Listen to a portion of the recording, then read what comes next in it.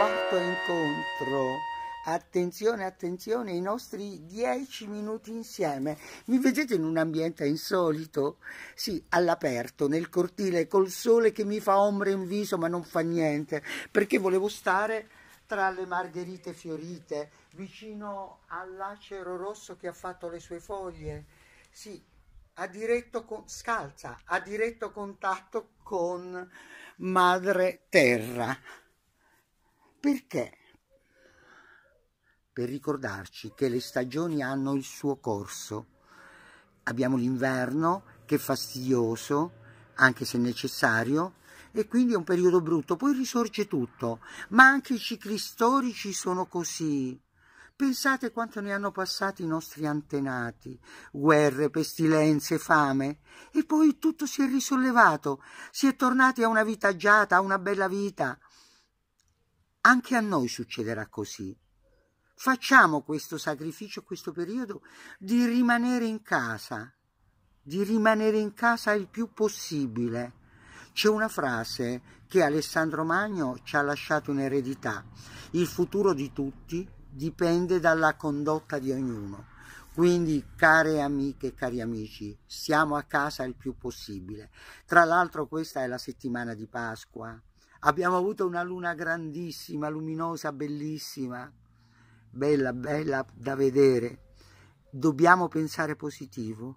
Vedete la luna? Prima un pezzetto, poi diventa grande, grande luna piena.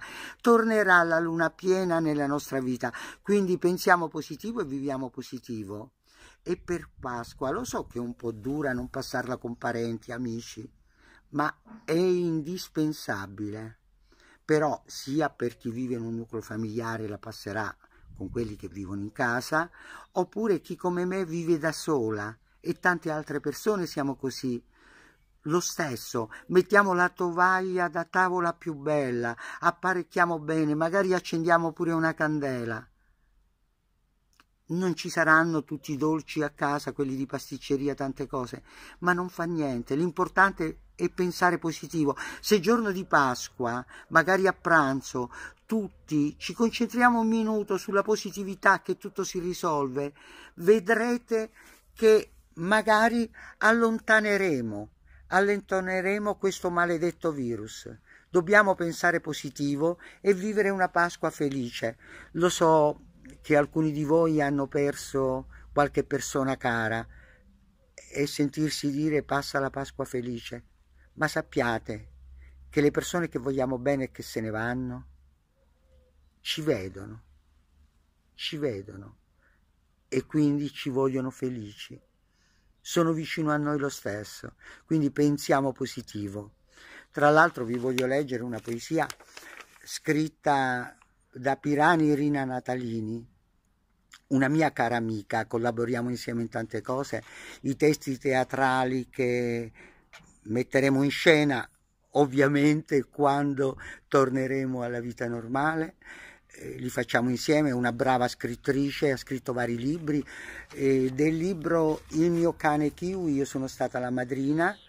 Eh, l'ultimo libro invece parla di spiritualità ed è un libro che andrebbe bene leggere in questo momento. Che ci crediate o no, è andata così. Di Rina Pirani Natalini. Sono sicura che vedrà questo video, quindi le mando un bacio e lei ci ha regalato una poesia per sorridere insieme. Pasqua è arrivata.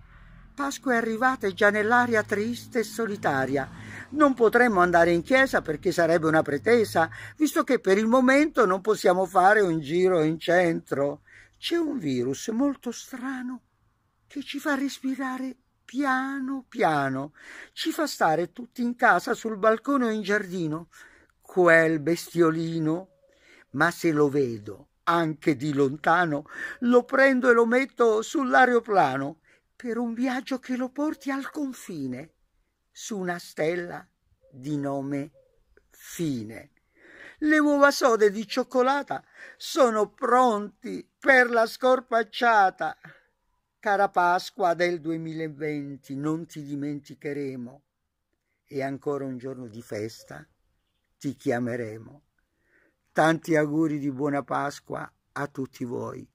Un abbraccio, un bacio dalla vostra Selene. Ciao ciao cari!